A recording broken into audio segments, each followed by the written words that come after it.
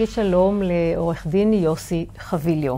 שלום. שלום לך, יוסי. מה שלומך? העורך דין יוסי חביליו. שלומי בסדר.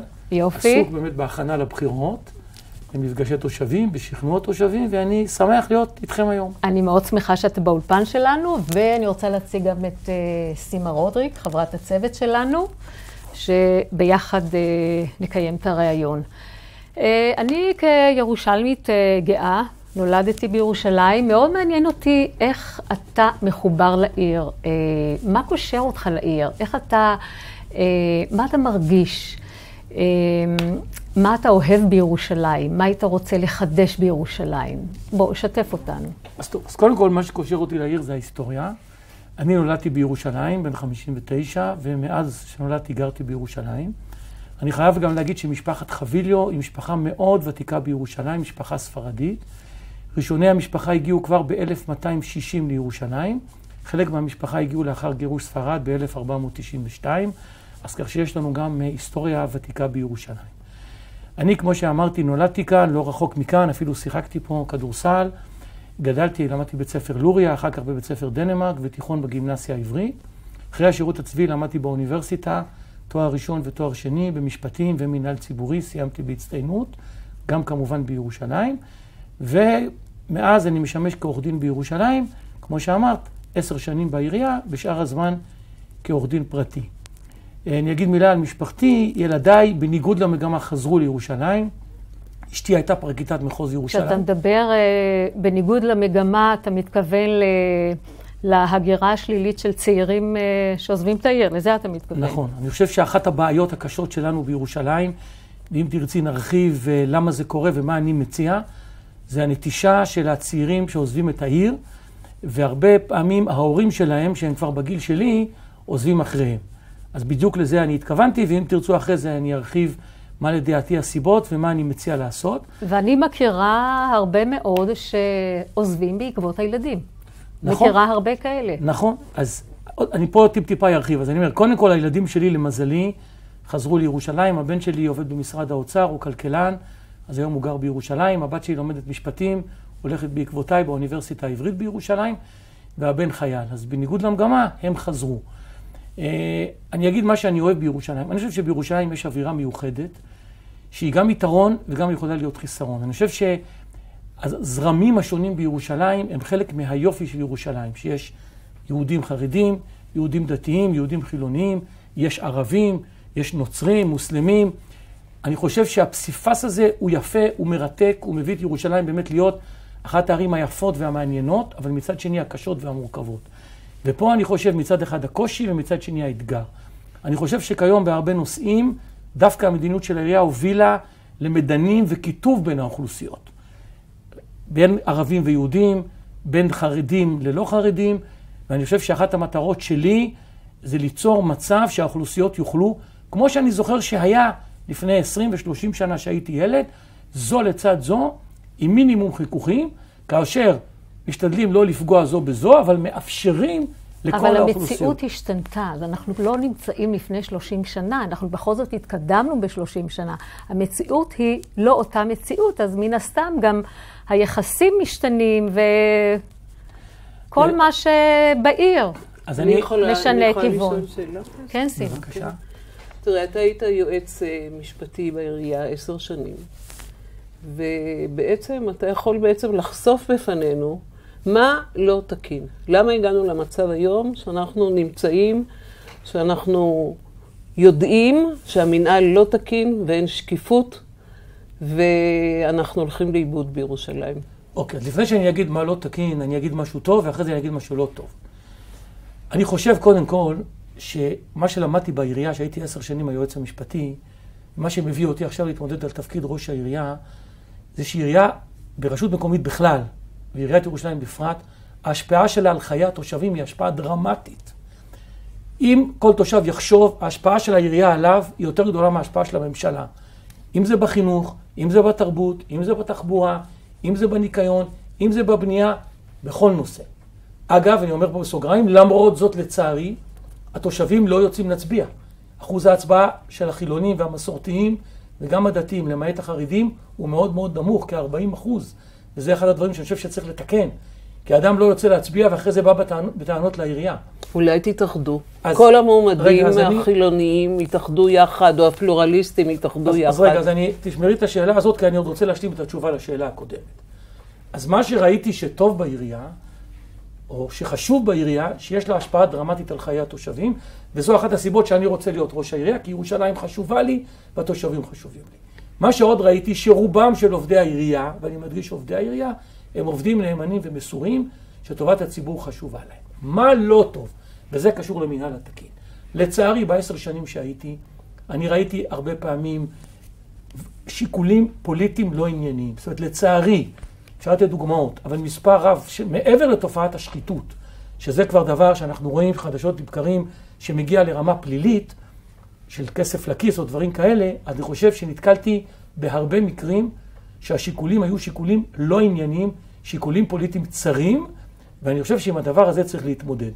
אני אשתמש פה בבמה הזאת להגיד שאני על תפקידי כיועץ משפטי לעירייה, זכיתי בפרס אביר איכות השלטון של התנועה לאיכות השלטון, עם ועדה בראשות השופט בדימוס, זיכרונו לברכה, מישאל חשין, ואחד מנימוקי הוועדה היו שאני הייתי מוכן להילחם ואפילו לסכן את משרתי על מנת להילחם על מה שהאמנתי ועל שלטון החוק ועל כללי מינהל תקין.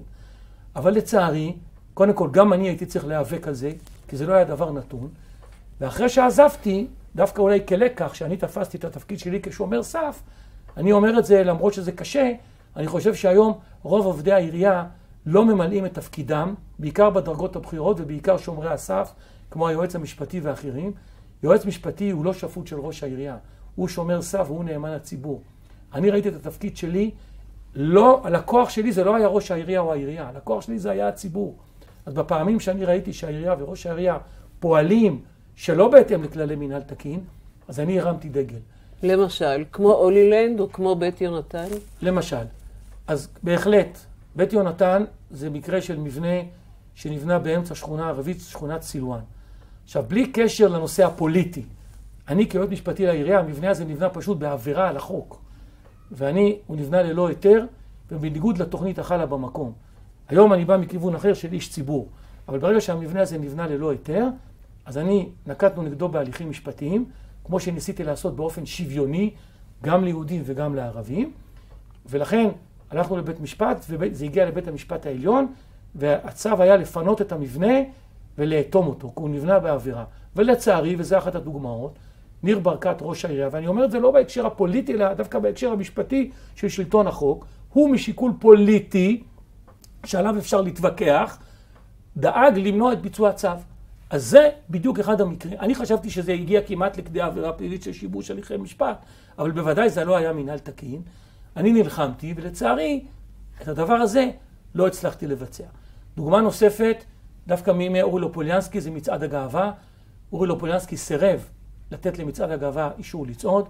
אני נתתי חוות דעת כנגד מר אורי לופוליאנסקי, וחוות דעתי הגיעה לבית משפט ואושרה, ואז מצעד הגאווה הראשון צעד. אני אגיד גם שלצערי, וזה חלק תמיד סיפור שאני מספר, היו דברים שניר ברקת כראש אופוזיציה תמך וקידם, ושהוא, ופנה ליועץ המשפטי ובחנה לתת חוות דעת, למשל, הקצבת כספים לגורמים חרדיים, הוא התנגד לזה, הוא פנה אליי שאני אתן חוות דעת וחשב שזה לא חוקי, וכשהוא נהיה ראש העירייה, הוא בדיוק עשה את אותו דבר. כי אולי דברים שרואים מכאן, לא רואים משם, זה נכון, ולהפך. זה נכון, אבל אני חושב שחוק הוא חוק, ואת החוק צריך לקיים.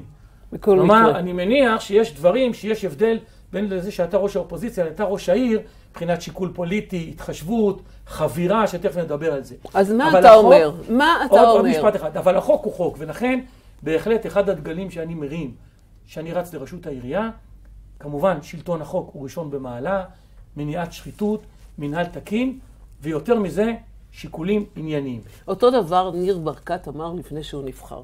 בגלל זה תמכנו בו. בגלל זה התאחדנו כולנו ואמרנו סוף סוף יגיע ראש עיר שיציל את ירושלים. ברגע שהוא נבחר, הוא הקים את האופוזיציה הגדולה, את הקואליציה, סליחה, את הקואליציה הגדולה, ובגד בכל מה שהוא הצהיר. קודם שהוא כל- י- קודם כל- אולי זה יקרה גם לך. קודם כל, אני מסכים איתך שזה מה שהוא עשה. הוא נבחר על רקע, על ידי הציבור החילוני והדתי-לאומי, ולמעשה, בעיקר בארבע שנים האחרונות, בגד בציבור הזה, על ידי שהוא בעצם חבר לציבור החרדי ופגע לא רק בחילונים, לא רק במסורתיים, אלא גם בדתיים הלאומיים. ואני חייב להגיד, למרות שלא שאלת, גם מתמודדים נוספים, בוודאי משה ליאון, שהיה איתו ביחד, וגם עופר ברקוביץ', שישב בקואליציה במשך תשע שנים האחרונות, והיה שותף לרוב המהלכים האלה. אז בהחלט, אחד הדברים שאני אומר, הם היו שם. הם עשו את הדברים הלא טובים, בתקופתם ירושלים ירדה. אני מביא משהו חדש. אתה עכשיו, חושב שלא יקרה לך שגם אתה תצטרך להתחבר לדתיים? אז רגע, ולעשות... לפני, התחברות, לפני התחברות לדתיים, אני אגיד ככה, למה אני חושב שלגביי יש סיכוי יותר טוב שאני אקיים? אם תסתכלי אחורה, קודם כל בארבע, חמש שנים האחרונות, אני הייתי בכל המאבקים. אם זה פאב המפלצת, אם זה מרכולים במרכז העיר, אם זה גלריית ברבור, אם זה דיור ציבורי, אם זה מניעת סגירת המרכז לגמילה מסמים בליפתא. אני הייתי שם, נלחמתי ובדרך כלל הצלחתי. הצלחת בר... מאוד, אני יכולה להעיד. נכון. ברקת היה נגד, וברקוביץ' העדיף לשבת בקואליציה. נכון. אז קודם כל אני חושב שאני הוכחתי את עצמי, אבל אני אגיד עוד משהו. צריך לבדוק את ההיסטוריה. ברקת עשה דברים טובים ופחות טובים, ברקוביץ' עשה דברים טובים ופחות טובים. אבל אם אני מסתכל על ההיסטוריה של שניהם, הם בדרך כלל פעלו לפי האינטרס שלהם. אני רוצה לא, לשאול עוד משפט, עוד משפט. הם לא היו מוכנים להיכנס לעימות. ואני מחזיר אותך למה שאמרתי לפני שתי דקות, ולפרס שאני זכיתי. כשאני הייתי יועץ משפטי לעירייה, יכלתי להיות שפוט, יכלתי לרצות את ניר ברקת, והיה לי חיים ממש טובים. עצם זה שאני הייתי מוכן לסכן את תפקידי ומעמדי בשביל הערכים שאני מאמין בהם, זה אומר שיש הרבה יותר סיכוי שאני אעשה את זה גם כשאני אהיה ראש העיר, או סגן ראש העיר חס וחלילה, אני חושב שחשוב גם ההצבעה לראשות העיר וגם למועצה, ולא אבגוד בערכים האלה לטובת הכיסא והמשכורת. השאלה אם אתה לא תהיה סחיט, אם אתה אז, מספיק תוכל לעמוד חזק ואיתן מול כל הלחצים. אז, אז אני אחלק את השאלה שלי, ואני שמח על השאלה. לגבי סחיט, אז אני חושב שההיסטוריה שלי, גם כעשר שנים כיועץ משפטי לעירייה, כמו שאת אומרת, במקום הכי מורכב והכי מסובך, שעמדתי בלחצים, וכמו שאומרים, לא דבק בי רבב, והייתי מוכן גם ללכת כנגד הזרם, שזה מה שחשוב, ולהצליח. אז אני לא חושב שמי שמכיר את ההיסטוריה שלי, וזה גם לעומת המועמדים האחרים, עם הניסיון, עם הכישורים ועם האומץ, אז אני חושב שאני לא אהיה שכיר. עכשיו, לעניין השאלה הפוליטית, האם אני גם לא אצטרך לעשות קואליציה עם החרדים וכולי. תראו, אני פה פונה פה לציבור הלא חרדי. אגב, אני חייב להגיד לכם, אני לא נגד הציבור החרדי. אני אומר את זה ומישיר מבט אליכם, אני אתן לחרדים לא פחות ממה שנתן להם ברקת. אבל אני אעשה את זה נכון. ואני רוצה לתת לכם רק דוגמה אחת. פנו אליי לאחרונה, אחד הנושאים הבעייתיים זה התחרדות השכונות החילוניות. נכון. שעיריית ירושלים מביאה את החרדים לתוך השכונות החילוניות.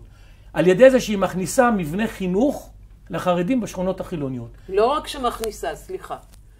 אני, המבנים של הגנים שלהם ושל בתי הספר, בהתחלה העירייה יודעת שהם לא חוקיים. נכון. והיא מבליגה ואחר כך היא נותנת להם תוקף חוקי. אז בדיוק על זה אני רוצה להגיד. כי אנשים, קודם כל, כמובן שהדבר הזה אסור שיעשה. העירייה כגורם שהוא צריך לאכוף את החוק, לא יכול להפר את החוק. זה גורם מטרד לתושבים. אז אני רוצה לדבר על העניין הגלובלי, וגם פה אני למשל אתן דוגמה. ברמת שרת, שהיא עדיין שכונה חילונית מסורתית, ניסו לפני מספר שנים להקצות קרקע ברחוב דוד מרץ לשלוש עמותות חרדיות. אנחנו צריכים אנחנו קצת, סליחה, עתירה, יוסי, אנחנו צריכים קצת לקצר. אז לקצר. אז, אז רק לקצר. משפט אחרון. אוקיי. אז לכן אני חושב שחשוב מאוד, אז לכן אני חושב שאני לא אהיה סחיט, אבל אני רק רוצה לסיים בדוגמה. קשרו אליי משכונת רמת שלמה, ואמרו לי, יש פה קרקעות שמיועדות לגנים ולבתי ספר. במקום שהעירייה תבנה בהם גנים ובתי ספר, היא מקצה אותם לישיבות שהן בכלל לא מהשכונה וחלקם מחוץ לעיר. ואז הילדים שלנו צריכים אחרי זה לנסוע לקריית יובל הגנים. ולכן הפתרון שלי זה לבנות בח... לחרדים בשכונות שלהם. ובשכונה חילונית, לא, מוסד חרדי לא לתת לו להיכנס. ולשמור את זה לטובת החילונים. אני חוששת שאתה לא תוכל להיות ראש עיר טוב, אני אגיד לך למה. דבר ראשון, בגלל שאני לא יודעת אם אתה מתמצא במכוניות מרוץ, כי ניר ברקת מתמצא במכוניות מרוץ והביא לנו את הפורמולה. דבר שני, שזה מה שמטריד אותי. לך לא יהיה אומץ לשפוך, לשפוך פחי זבל ברחובות ירושלים לתושבים. יהיה לך אומץ? אני חושב שאסור לעשות את זה. אז אני, אני חושב שאני את הדרך, אני חושב ששתי השאלות ששאלת, הן דווקא אומרות למה אני אהיה טוב. כי המרוץ פורמולה 1, אני תמיד מביא אותו דוגמה לסדר עדיפות לקוי. אני אספר לכם סיפור בקצרה, כי אני יודע שאין לנו זמן. עיריית ירושלים סגרה מרכז לגמילה מסמים בליפתא, שאגב, דוד גרוסמן כתב עליו בספר, מישהו לרוץ איתו, בגלל גירעון של 200 אלף שקל בשנה. 100 ילדים נזרקו לרחוב. לא שמעתי שברקוביץ' הרים דגל, לא שמעתי שאחרים הרימו דגל. אנחנו הגשנו עתירה, לצערי זה אחד המקרים הבודדים שלא הצליחו. אגב, העתירה הוגשה יחד עם דוד גרוסמן. 100 ילדים נזרקו לרחוב, הם מחכים ברשימת המתנה למלכישוע. מרוץ פורמולה אחת, ולכן אני משתמש, עלה 20 מיליון שקל. כלומר, בכסף של מרוץ פורמולה אחת, ואני לא שאני נגד תרבות וספורט, אני אוהד הפועל ירושלים והולך, אבל שחמש מכוניות נסעו הלוך חזור, היה אפשר להחזיק 100 שנים את המרכז לגמילה מסמים. ולכן אני חושב שסדר עדיפויות שהיה פה היה לקוי, דברים של שור אור, דברים של תעמולה, ולא דאגה לחינוך, לרווחה ולניקיון. זה בגלל שלא הוזמנת למסיבה של ש"ס. בגלל זה. אז גם האירוע של ש"ס שמומן על ידי העירייה בצורה לא חוקית, ואנחנו מנענו אותו בבית משפט, למשל שארגנו כנס שקרא לבנות חרדיות לא ללכת ללימודים אקדמיים, אפילו כאשר יש הפרדה מגדרית, וזה עירייה, זה החרדים הכי קיצוניים. אגב, התלונות שהגיעו אליי היו של חרדים מתונים. איך אתה נותן לדבר כזה לקרות? עיריית ירושלים הייתה צריכה, מעבר לזה שזה לא חוקי. הפוך. אני כראש עיר יעודד את החרדים והחרדיות ללכת ללימודים שיוכלו להשתלב בשוק העבודה ולא יהיו בעוני שהם נמצאים פה. הם כבר uh, בדרך, אפשר אז להגיד. אני, אני חושב על העירייה, רבים, רבים. העירייה צריכה לעודד את זה. בפועל היא פועלת הפוך. שאלה אחרונה, בין השאלות האחרונות. מה עם הארנונה? תושבי ירושלים אה, משלמים ארנונה ופשוט נשחקים. ואני יכולה לתת לך דוגמה מהשכונה שלי.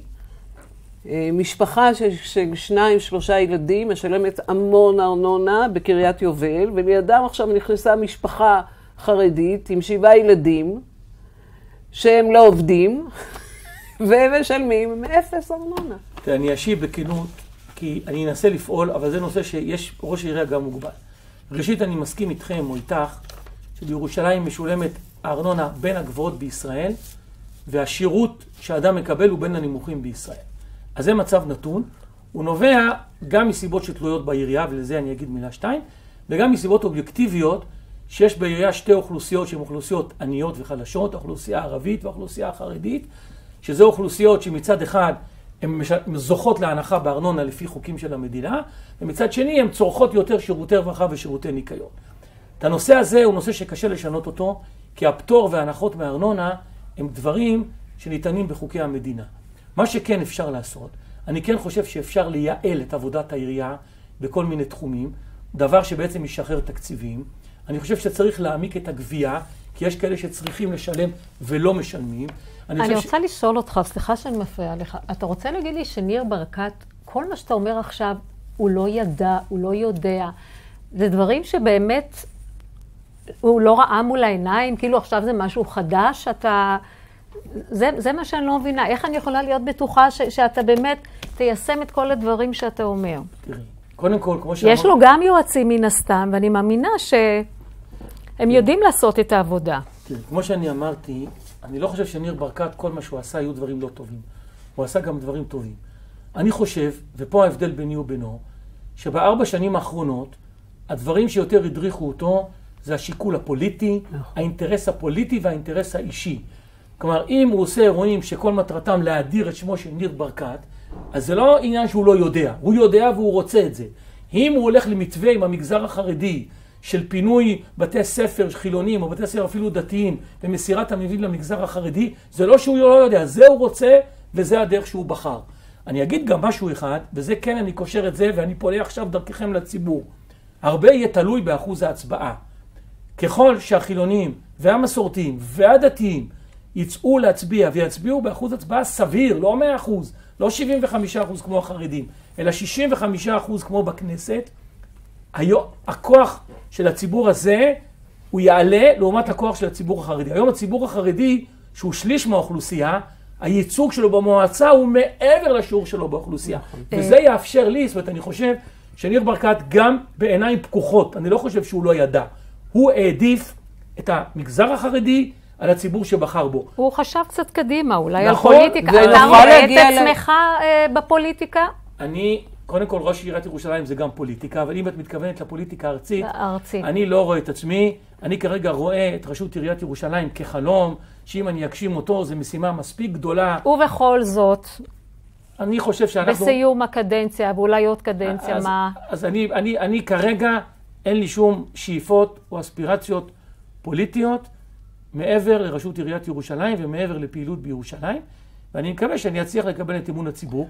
יכול להיות גם לזה- שניר ברקת חשב, עוד משפט, שהציבור הזה ממילא בכיס שלו, ואפשר ללכת לכיוון של ציבורים אחרים. אתה מודע לזה שאנחנו לא יכולים לנסוע, התחבורה בירושלים אה, עם הרכבת הקלה, במקום להקל עלינו, היא מקשה, חוץ מאותם אנשים שצריכים לרדת העירה וחיים על יד אותו קו. אבל כל יתר הציבור פשוט אה, סובל מהרכבת הקלה. אני מסכים איתך שמצב התחבורה בירושלים הוא קטסטרופלי. תראי, יש עוד הרבה בעיות, אני ניגע בזמן הזה רק במעט מהן. אני בהחלט חושב שצריך להאיץ את הרכבת הקלה. אני חושב שצריך להכניס מפעיל תחבורה ציבורי שני בירושלים. ליצור. תחרות. אני ליצור תחרות, אגד מרוויחים פה הכי הרבה כסף ונותנים שירות מאוד גרוע. צריך להכניס שירות של שאטלים, צריך לשפר את נושא החנייה. היום העירייה אומרת, אני לא אתן לך חנייה בשביל שתיסע בתחבורה ציבורית, והתחבורה הציבורית היא לא טובה. אז לפחות בשלב הביניים צריך לשפר את האוטובוסים, צריך לשפר שאטלים, שיהיו ארבעה, חמישה רכבים של הרכבת הקלה, אז יכול להיות שאפשר יהיה לא לעשות חניות. כי מה שאנחנו רואים היום, זה שיש פה קטסטרופה, גם בתוכניות העתידיות, רוצים להרים מגדלים, מגדלים, בלי שיש ש- תשתיות, עם כל החשיבות לדיור, ואני גם רואה את האפשרות של הדיור, אני חושב שהבינוי צריך להיות בינוי סביר או בינוי שפוי. זאת אומרת שתהיה תוכנית קודם. נכון. ואין תוכניות נכון. לירושלים, אני, אין לי, נכון? אין, אני מסכים איתך לחלוטין. אם אני אבחר, יש אזורים שאני, כל מה שלא אושר אני אעצור, עד שתהיה תוכנית ל-10 או 20 שנה, תוכנית אב כללית. כיום יש פתרונות נקודתיים, שבעיקר מקדמים את הרווחים שבאים לכיסים של היזמים. נכון. והרבה פעמים הופכים את החיים של כל מי שגר בסביבה לקטסטרופה. אז חשוב שדיור, אבל חשוב לדאוג גם לאיכות החיים של מי שעדיין נשאר פה, ואני חוזר להתחלה, אסתי, על מנת שלא יעזוב. ושיחזרו. אולי, אולי שיחזרו. ומקווה מאוד שנוכל להחזיר. אה, רוצה לשאול אותו עוד שאלה קטנה. אה, תראה, כששאלו את אה, ראש הממשלה בגין, זיכרונו לברכה, מנחם בגין, מה יהיה הסגנון שלך? איזה ראש ממשלה תהיה? מה יהיה הסגנון שלך? אז הוא אמר, סגנון יהודי, טוב. מה יהיה הסגנון שלך? אני חושב שהסגנון שלי יהיה סגנון, לא יודע אם לקרוא לו עממי, אבל סגנון שאני אקרא לו בגובה העיניים, סגנון של אנשים. אחת הביקורות שיש לי כלפי ניר ברקת, ודווקא פה אני פעלתי נגד זה, יועץ משפטי לעירייה, היום נראה שבעירייה יש איזו דיקטטורה, ולא שומעים את הציבור. כל הנושא של שיתוף ציבור, שמיעת ציבור, כל הנושא של עצמאות המנהלים הקהילתיים, היום כולם נדרשים להישמע למה שהעירייה עושה, ומי שמעז לחלוק, הוא נענש, כמו מנהלים קהילתיים כמו אחרים. אז הסגנון שלי יהיה סגנון אחר. אני אכבד את האופוזיציה, אני אשתף את האופוזיציה. זה לא בשבילי שרק אני מחליט או הקואליציה, והאופוזיציה יכולה לשבת בצד. זה מה לא יהיה לך. כפתור לעצור את השאלות. לא יהיה לי כפתור, לא יקרה שייסגרו, כן, אני חושב שזו דוגמה קטנה אבל משמעותית, שנסגרות ישיבות מועצה, אגב, בניגוד לחוק, לא מזמן אנחנו באנו להפגין על מתחם התחנה, ולא נתנו לה להיכנס. לכן הסגנון שלי יהיה סגנון לראות את הבן אדם במרכז. אני אגיד משהו שאולי הוא גימיק, את הבן אדם, את האזרח, אתה כן, מתכוון. את האזרח ואת התושב. אני מתחייב פה, ותקליטו אותי, שכל תושב שירצה לפגוש אותי, בתוך 60 יום אני אפגוש אותו, וכל ציבור, ועד או מנהל קהילתי שירצה לפגוש אותי, בתוך 30 יום אני מתחייב לפגוש אותו. טוב, אתה תרשמו, רושם בפנקס? תקליטו, אתה רושם בפנקס? תקליטו אותי, כבר- תקליטו אותי ותבדקו אותי. הוקלטת. אתה רוצה לאחל משהו לירושלים? כן, אני רוצה לאחל בהצלחה לירושלים. אני רוצה שעוד פעם, כמו שאמרנו, שירושלים תהיה עיר שכיף לחיות בה, ירושלים שאנשים רוצים לחיות בה, ירושלים שהיחסים בין האוכלוסיות הם יחסים טובים, יחסים הוגנים, יחסים של חיה ותן לחיות, ירושלים שרואה את התושב ואת האדם במרכז. ואני גם רוצה להודות לכם על הבמה ולברך אתכם, גם את המינהל הקהילתי, גם את הטלוויזיה הקהילתית. אני חושב שאתם עושים עבודה מאוד חשובה. ואני, כשאני אהיה ראש העירייה, אני אחזק את העבודה הזאת כחלק מעיריית התושב במרכז. המון אני. רוצה גם להודות לך שהתארחת באולפן שלנו, לכבוד הוא היה לנו בהחלט. וכנראה שלהיות אה, ראש עיריית ירושלים הוא קצת יותר קשה מאשר להיות אה, ראש הממשלה. יכול להיות. אני מסכים איתך, מה שאמרת בפתיחה, שזה אחד התפקידים אה, הקשים אולי המאתגרים. בעולם. בהחלט. אבל בסדר, אנחנו, כמו שאת אומרת, מאתגרים, ואני אשמח להתמודד עם האתגר. אוקיי, אה, זהו, הגענו לסיום המגזין שלנו. אני רוצה להודות לך שוב שהתארחת אצלנו, וכמובן לחברת הצוות שלנו, סימה רודריק, תודה גם לך. אה, עד כאן, צופים יקרים, הגענו לסיום המגזין שלנו, חלון לירושלים.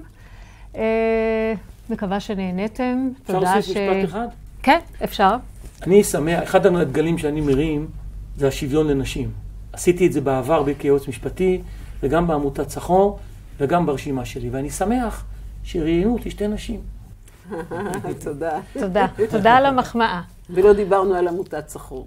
בפעם הבאה תזמינו אותי עוד זה כבר לפעם הבאה.